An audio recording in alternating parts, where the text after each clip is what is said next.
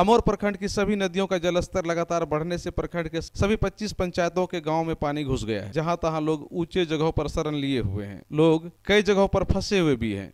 बैसा एवं अमोर को बैसे अनुमंडल से जोड़ने वाली सड़क भी अवरुद्ध हो गई है। कई जगह सड़क कट गई है तो कई जगह सड़क के ऊपर से तेज रफ्तार में पानी बह रहा है।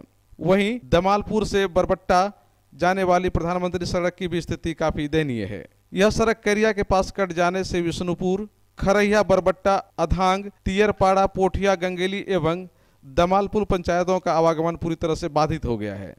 सभी लोग अपने अपने घरों में फंसे हुए हैं। पचहत्ता पंचायत एवं नितंदर पंचायत के सभी गाँव बाढ़ से प्रभावित हो गया है, जहाँ के लोगों को खाने पीने से लेकर आवश्यक तमाम चीज़ों की काफ़ी दिक्कतें हो रही हैं। हालाँकि कुछ स्कूलों में राहत शिविर खोला गया है, जहाँ भोजन की व्यवस्था समेत अन्य कई व्यवस्थाएँ की गई हैं, किंतु लोग गाँव में फंसे रहने के कारण अभी सही तरीके से उसका लाभ नहीं ले पा रहा है। सा जगह है ये? ये कुलटोला खारी है। यहाँ पे कटान हो रहा है क्या? बहुत ज़्यादा ही कटान हो रहा है। चरा गली के घर के पीछे है। बहुत ज़्यादा कट रहा है। कितना परिवार का होगा ये मोहल्ला लगभग गाँव? तकरीबन ये डेढ़ सौ परिवार का मामला है प्रशासन की तरफ़ से कोई सुविधा? कोई सुविधा अभी तक नहीं आई है। कोई नहीं आया है? कोई नहीं कब से कट रहा है? ये कल से है। कौन सी नदी है?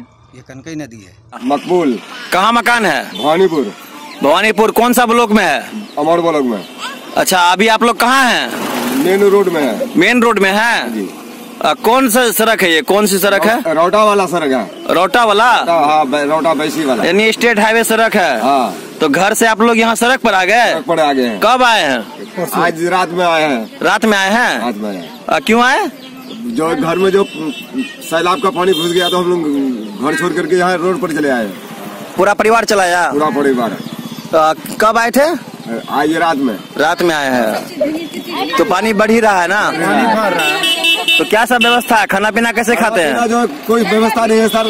जो हम लोग को जो गैस चूल्हा भी नहीं है जलावन उलावन सब भीग गया।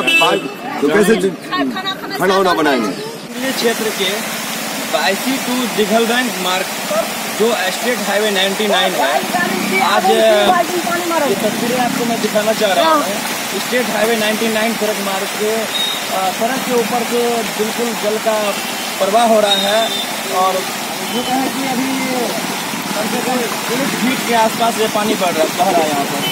और मिली जानकारी के अनुसार बायसी से रौटा के बीच में एकमात्र यही गिरवा चौक का स्थान है, जहाँ पर पानी का बहाव तेज गति से हो रहा है। और सुबह से ही परमान नदी का जलस्तर काफ़ी तेज गति से बढ़ रहा है।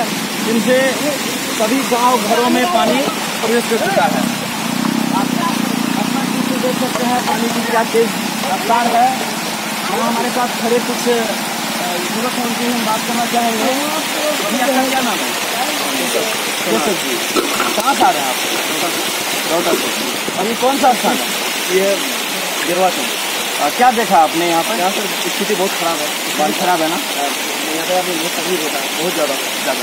तो क्या यहाँ बड़ी गाड़ी जा पा रही है क्या? बड़ी बड़ी गाड़ी मतलब आगे आगे मतलब आगे तक नहीं जा पाएगी नहीं जा पाएगी यहीं तक ये सड़क पर बिल्कुल पानी का बहाव तेज हो चुका है। बहुत ज़्यादा तो मतलब यहाँ भी पानी बढ़ रहा है।